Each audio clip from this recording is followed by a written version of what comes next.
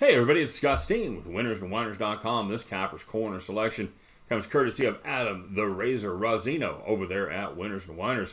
Razor's taking a look in the National League East as the New York Mets come to town to take on the Atlanta Braves. 7:10 Eastern start time on this one as Rick Porcello gets the ball for the Mets against lefty Sean Newcomb for the Atlanta Braves. Uh, the record for these teams: the Mets three and four on the season, having dropped their last two while Atlanta has won two straight to get themselves above 500, checking in at 4 and 3. Atlanta, small favorite in this one, minus 125. Mets, plus 115. And the total on this contest is 10 and a half. Now, Porcello, he was absolutely crushed in his Mets debut on Sunday night, surrendering seven runs, six earned in only two innings against a good Braves lineup, leading to the defeat. The Mets, well, averaging 4.17 runs per game. That's 19th overall. Uh, they also own a 4.91 team ERA, and that puts them at 22nd in the big leagues.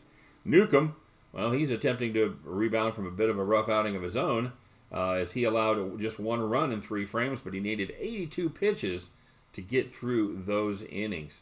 The Braves, well, they're averaging five and a half runs per game. That's good for seventh in the majors, but they are carrying. They also are carrying a team ERA, oddly enough, of five and a half, and that makes them check in at 19th.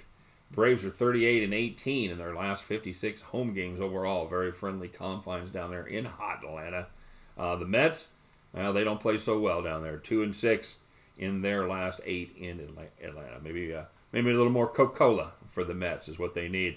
Um, they are, excuse me, then they are, yeah, two and two and six their last eight they're also one and four in their last five games as an underdog overall. Now the Mets starter, uh, Porcello, you know what, guys? He's just not the same pitcher that he was in his prime. He finished 2019 with an abysmal 5.52 ERA, and the right-hander uh, faced the Braves last weekend. This very same team, like we said, he surrendered seven runs. Sean Newcomb, well, he's been a different story. He has excelled in his career against the Mets.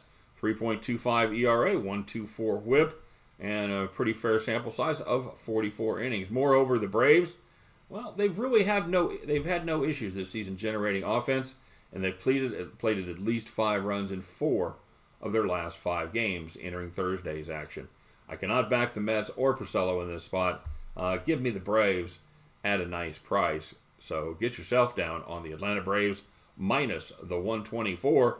And at the end of this contest, you can join the Razor as you pick up your winning tickets and head back to the window. Good luck, everybody. Thanks very much for watching. Don't forget to like and subscribe, and we will see you on the next video.